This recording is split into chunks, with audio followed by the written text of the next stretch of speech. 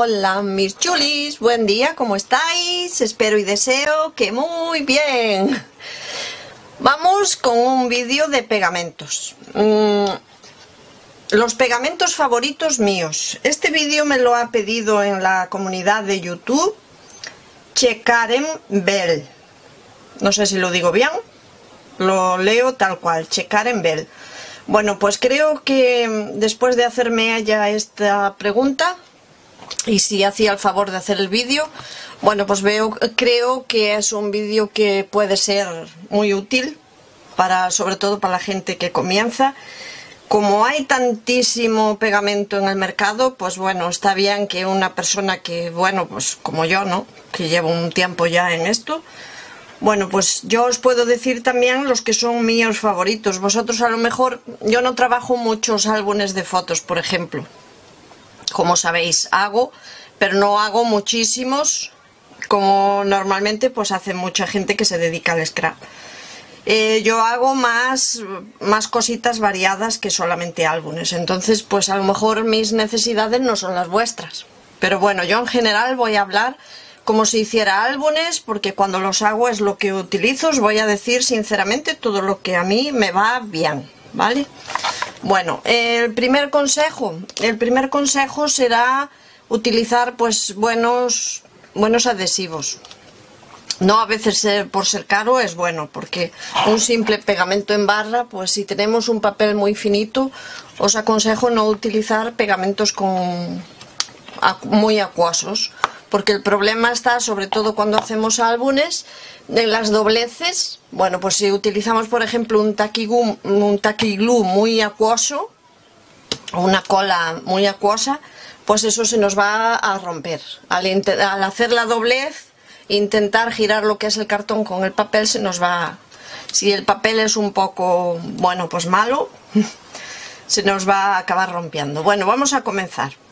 Comenzamos con el tacky glue para mí el pegamento favorito de todos los favoritos para todas las manualidades, álbumes incluidos, es el Tacky Glue este, que hay varias versiones, pero a mí me gusta el original.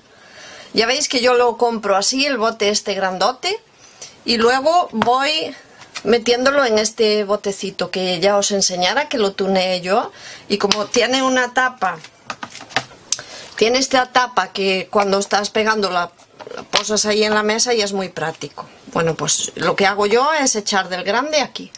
Entonces siempre tengo el repuesto. Bueno, el taquiglú, pues para, para hacer las tapas de los álbumes, para todo. Yo lo utilizo para todo. El secreto, el secreto quizás sea estirarlo muy bien, muy bien. Antes os voy a buscar una cosa que se me olvidó.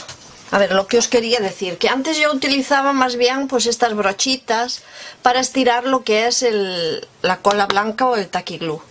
Y terminaba, porque aunque lo laves bien bien, pues termina pegándose y haciéndose ahí un pegote.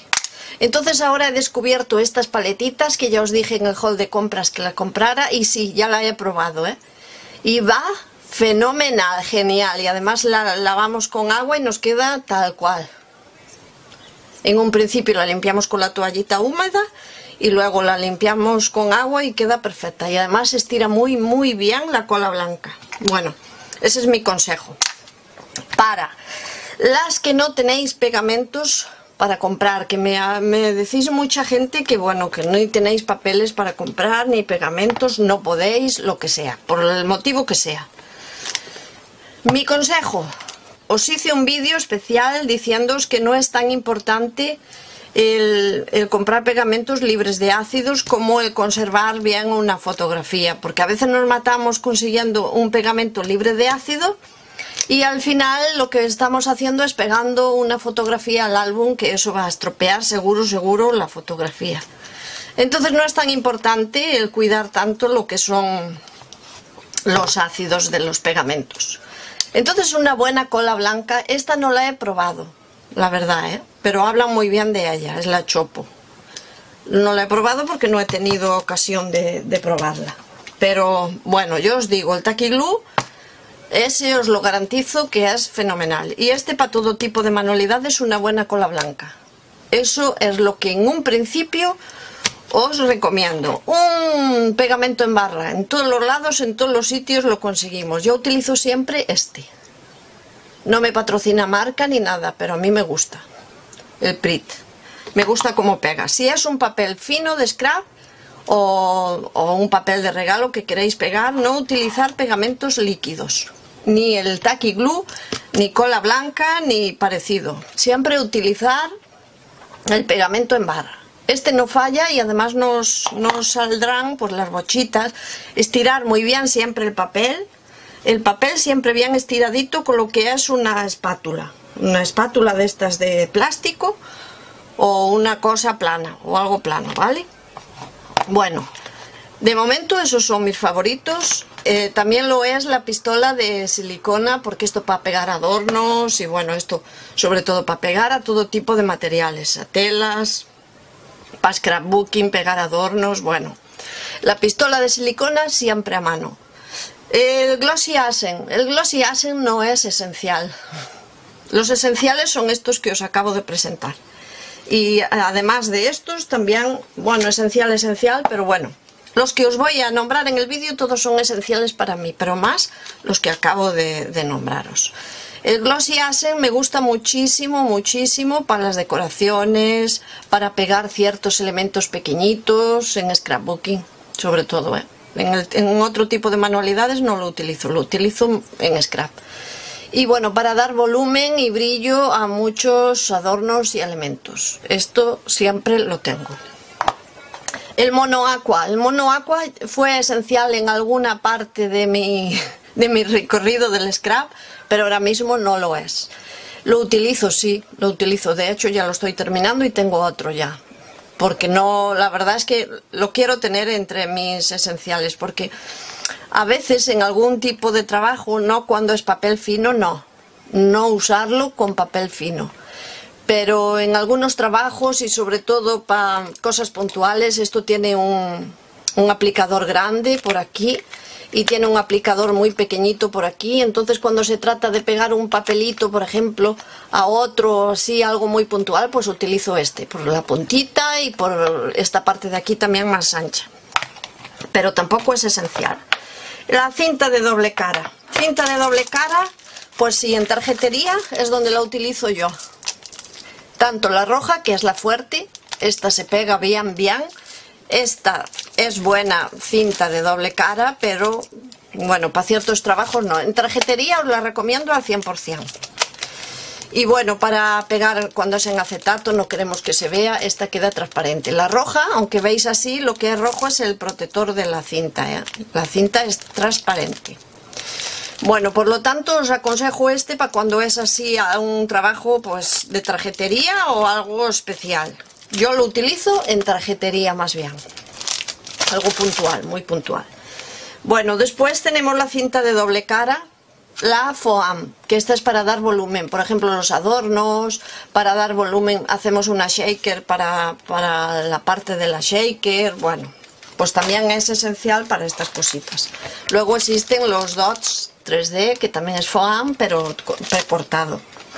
Y luego tenemos lo que es esta cinta de doble cara que yo este, este aparatejo lo tengo hace muchísimo tiempo, le llaman ATG las, las americanas, pero lo de ATG, por si no lo sabéis, la maquinita se llama Advanced Tape Glider y entonces es la inicial de cada palabra. Advanced Tape mm, Glider, pues ATG. Es por eso que se llama ITG. Es muy práctica, esta por decir que es muy práctica. Le damos al botoncito y clac, clac. La uso en tarjetería, nada más, ¿eh? Y bueno, esta es la cinta de que le llaman de carrocero. Es anchita. Y esta la utilizo mucho para hacer pues los álbumes, las portadas, para reforzar lo que son las partes que se abren y se cierran para que no ocurra lo que hablé antes. Cuando echamos pegamento al papel, pues a la hora de doblar lo que es la portada contra portada, que no nos rompa. Pues reforzamos con esto antes y luego forramos con el papel.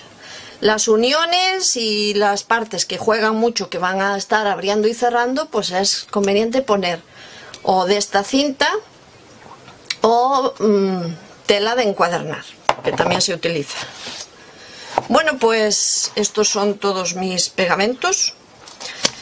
Mis pegamentos esenciales y los que yo utilizo. Después hay un montonazo de pegamentos más, el Mod Posh. Bueno, el Mod Posh yo lo tengo y la verdad que lo utilizo pues para hacer transferencias, nada más, punto pelota. Pero que puede ser reemplazable por cola blanca tranquilamente, ¿vale? Que no es esencial, por lo tanto no lo metí aquí, tengo algún pegamento más, pero no lo meto aquí porque yo no los creo esenciales. Esto es lo que yo utilizo y ya os digo, si tuviera que elegir y quedarme con uno solo, me quedaría con este, sin duda. Y fijaros que hay muchas versiones del Tacky Glue. Este es el original. No me gusta ni el fuerte ni el... Yo los probé y no me gustan. Me quedo con este. Y nada más. Y ya veis que siempre cojo el, el formato grande y voy pues poniendo en el pequeño. Bueno, pues nada más mis chulis. Espero que os sirva sobre todo. Y bueno, pues a la chuli que me lo pidió, espero que que te sea útil este vídeo, a ti y a todas mis chulis. Mis, a todas y a todos mis chulis. Un besiño, ser felices y nos vemos en el próximo vídeo. Chao, chao.